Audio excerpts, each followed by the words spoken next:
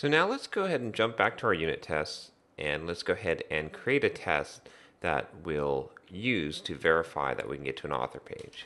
So we'll create a new test method here. And remember, our tests are always going to be the way that we drive the creation of the framework because that's going to keep the framework as simple and usable as possible.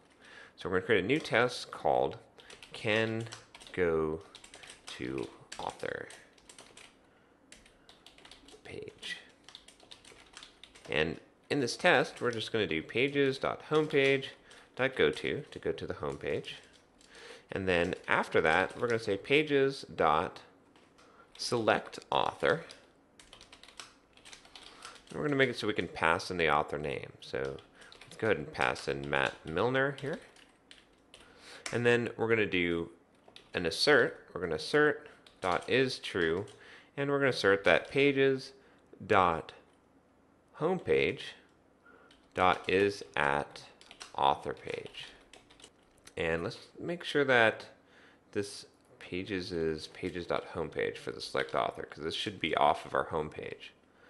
So what we're basically going to try to do is go to the homepage, select the author, with this name that we pass in and then verify that we're at an author page and we should probably verify that we're at the author page we want to be at so let's go ahead and put Matt Milner here so now we're going to go ahead and implement this inside of our framework so let's go ahead and create our select author first so we're going to create a method here for selecting an author and this will be author name and in order to select an author, we need to get that link. So let's look at that page again here. So on the main page here, we have this authors link. So if I right click here and inspect with Firebug, you can see that's just a link and it has the name authors. So that's a pretty easy way for us to get this. So now we're going to use a page object model to do this. So what we're going to do is we're basically going to create a variable that's going to hold that. So now if we create a variable here, so we'll create an i web element, we'll call this author link, and then we can decorate this with an attribute. We can say finds by, and we're going to say how equals how dot link text, and then we're going to say using the text authors, since that's the text that was on that link. Now, when we do this, if we use the page factory that's built into the Selenium support, then we can have it automatically go to the page and basically just the same way that we would select manually, it's going to select on this criteria and populate this field with it. So then we have the ability to just do authorlink.click. So this simplifies things quite a bit here. So now in order to get that to work, we have to do something special here. So what we're going to do is we're just going to pass our page through this page factory. So we're going to do a page factory dot init elements and we need the driver so we need the underlying web driver. So let's make sure we can get that from the browser. So we'll say browser.driver to expose that. And then we're going to pass in our home page. So now let's go ahead and implement browser driver real quick. And we're just going to make it so that this just returns that web driver. So we'll just do return web driver. And now you can see that what we're doing here is we're initializing our home page, we're passing it through this factory. This factory will look for any of these attributes we have and populate the elements on our page. And so now we have the ability to use this author link. Now, once we click this author link, let's go ahead and do that manually. You can see that we have all of our authors here and we have to select the particular one. So if I were to look at this one in Firebug, we can see that it's just another link here, and the link name is the name of the author. Well, we can't really do that declaratively like we were able to do with the author link, so we'll have to do this part manually. So let's go ahead and do browser.driver, and then we're going to say find element, and we're going to do our by, we're going to say link text, and it will be equal to the author name. So this will give us our author. And then we're going to do an author dot click. So we're basically going to click the authors, then we're going to click that individual author. So now let's go back to our test. Now that we have that implemented, the next thing we need to do is to implement is at author page. So let's create this method, and this will take an author name. And the way that we're going to check this is we're going to create an author page to represent an author page, but it's going to be somewhat generic because it's going to be different for each author.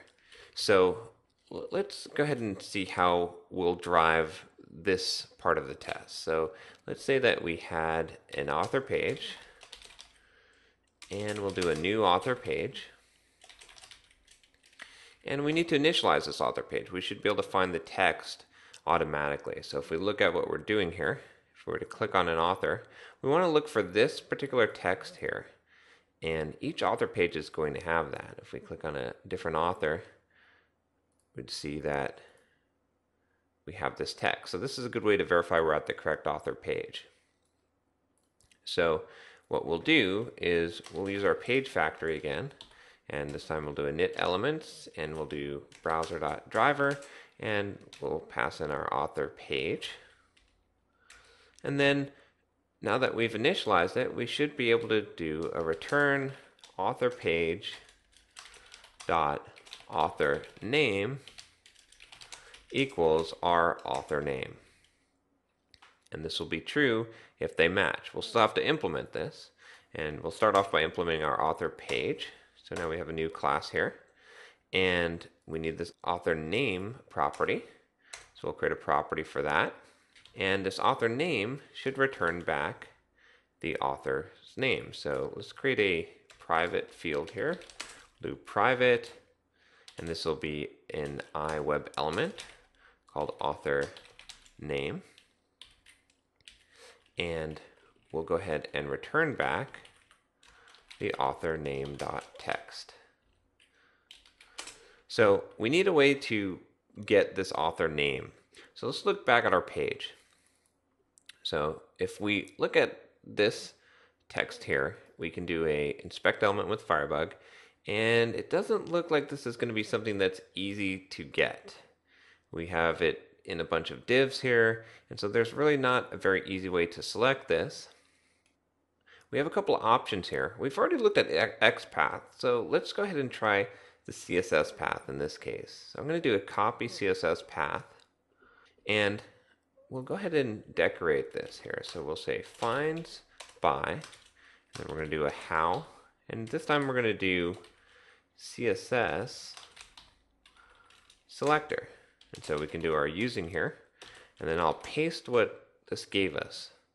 Quite a bit here. We probably don't need all of this. We could probably find this just by this div overview h1.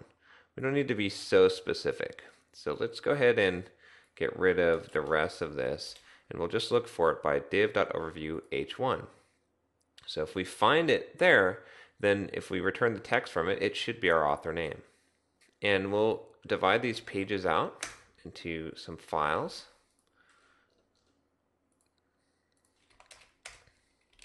And so now in our framework, we're starting to get a collection of pages here and we've got our main page. We might want to start organizing this at some point. But for now, let's just go ahead and go to our test and let's make sure that our new test works. So I'm going to go ahead and run this test.